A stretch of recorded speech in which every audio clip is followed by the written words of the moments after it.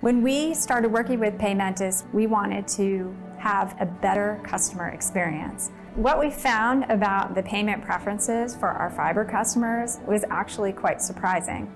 It's not that we didn't think our customers needed multiple options, we do.